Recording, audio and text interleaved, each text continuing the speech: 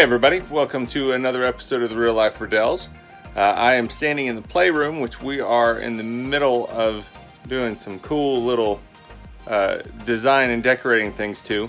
Uh, still not completely finished with the room. Uh, we are 98% done with all of our projects uh, and can't wait to reveal some of those things. Um, got a lot of organizational tips, got a lot of house um, command center kind of ideas that Janet has been working on as far as schedule and calendars and to-do lists and mail bills, those kind of things.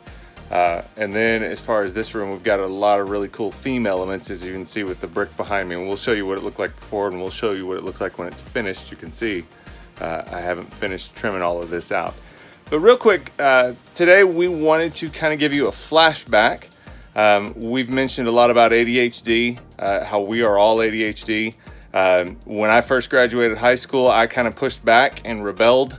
Uh, I felt like maybe my parents were using medicine to control me, uh, that if I talked too loud or laughed too long uh, at jokes or at comments that uh, they would often ask, you know, have you taken your pills? And so I, I resented that a little bit and pushed back against it. And that was immaturity on my part.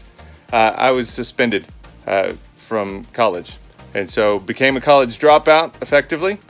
And so what we're going to do today is show you uh, my actual commencement speech. And it'll tell a lot of the story about how I got where I was. So without further ado, uh, ladies and gentlemen, I present to you uh, Excellence Defined, my uh, 2005 University of Houston commencement speech. Mr. Bryce Reddell, who is today a candidate for a Bachelor of Arts in Communications Media Production.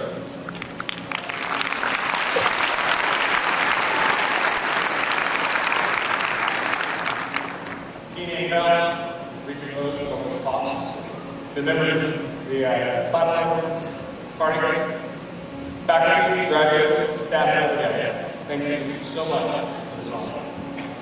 I want to take a few moments this morning to talk about one word, excellence.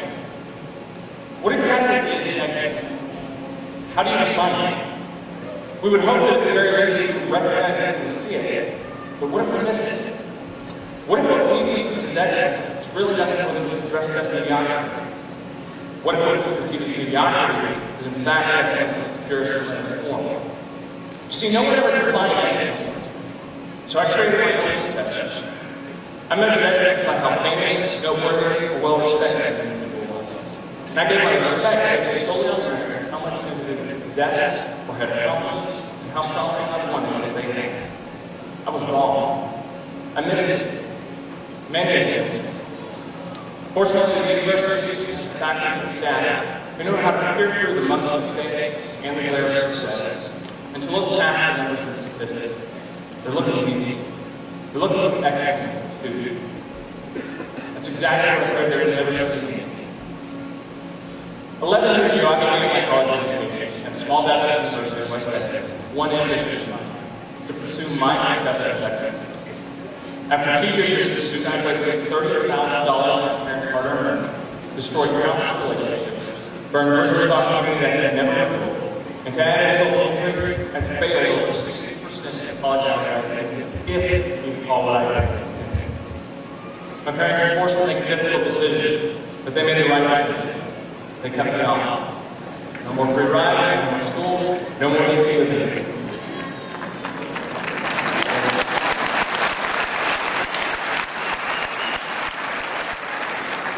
Now, one would think that would have gotten my attention.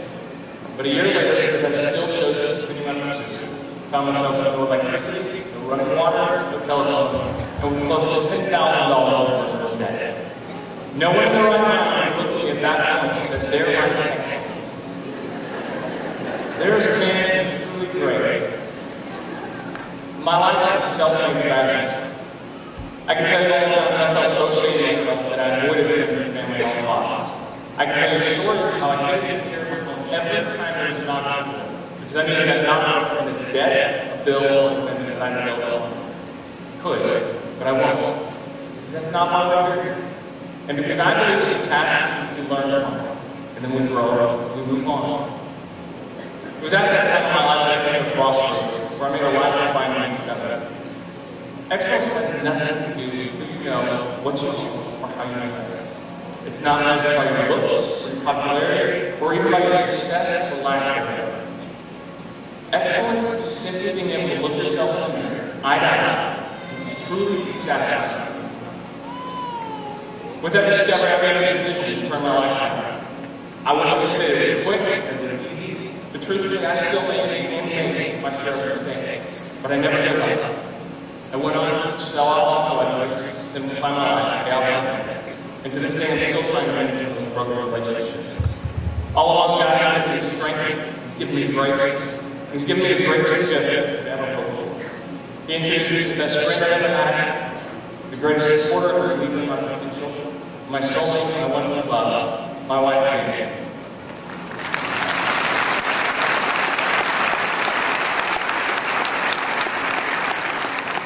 And she, in turn, has made me giving me the second greatest gift I could ever hope for, our first child.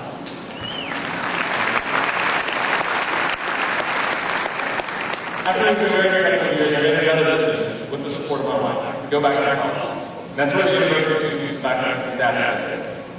I remember sitting down across from Jose Cantino in the admissions office. My heart was pounding, my forehead was sweating, my hands were shaking, and nervously came into my tra- transcripts, my admissions application. After looking at my digital records and raising eyebrows more than just a few times, Mr. Cantino decided I was his words. For that, I am eternally. For these last few years, I like to teach you, I've worked my way this down. Took the tests, did the projects, in the long hours of obligatory study sessions. And today, it all finally is possible. Today, we become college graduates. Today, when I face of no longer training, to be made under I already mentioned how incredible my wife is, but I want to take a moment to thank my parents. I want to thank you for raising me the way you did. I know it wasn't easy, but I know you made choices, hard choices, to made all those years ago. Mom, Dad, you did very well.